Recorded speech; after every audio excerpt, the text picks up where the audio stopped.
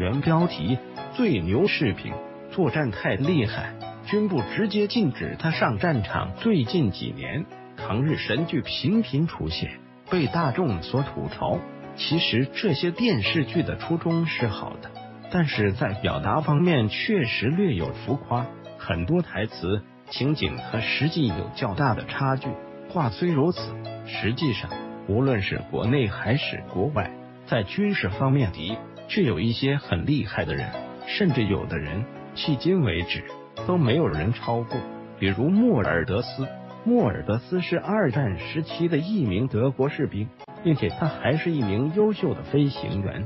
回顾历史，莫尔德斯的成绩简直说都说不完。一九三八年四月，莫尔德斯被上级派到西班牙，加入秃鹰部队，成为秃鹰部队第八十八战斗大队第三中队的中队长。在短短的时间内，莫尔德斯刷新了纪录，成为击落飞机数量最多的人。他一共击落了十四架敌机。直到后来，二战爆发，莫尔德斯又创造了更好的成绩。在一九四一年的苏德战场上，莫尔德斯居然击落了八十二架飞机，这也让他成为了德国国防军中第二个被授予香叶骑士铁十字勋章的人。但这还不是他最好的成绩。同年的七月中旬，他一共击落了敌军一百零一架，成德国国防军中的英雄。正因为如此，后来上级为了稳定军心，就不允许莫尔德斯出战。这样的情况并没有持续好久。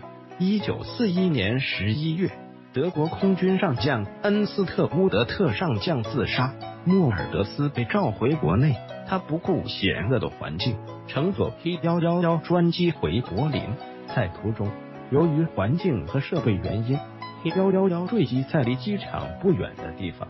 这次事件中，只有两个人还侥幸活了下来。到目前为止，他的记录也没人能打破。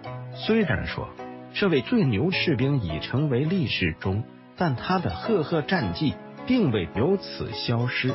返回搜狐，查看更多责任编辑。